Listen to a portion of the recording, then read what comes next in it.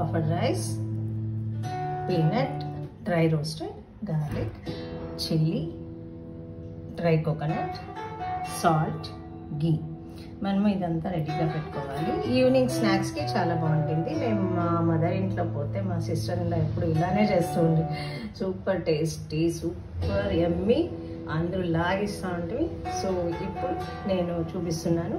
మనము paste చేసుకోవాల్సినది garlic green chilli and salt. ఆ మూడు పేస్ట్ చేసుకోవాలి ఇలాగా. And then puffed rice. Okay. ఇది ఫ్రెష్గా ఉంటే బాగుంటుంది.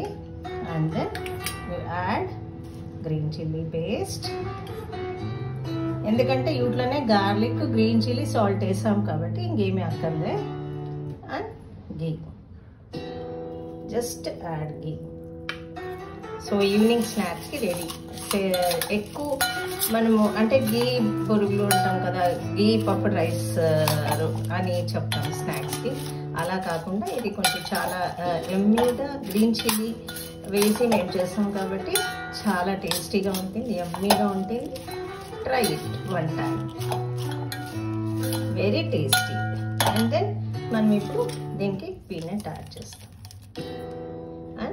మీకు ఇంట్రెస్ట్ ఉంటేనే dry coconut otherwise no need it is very and tasty see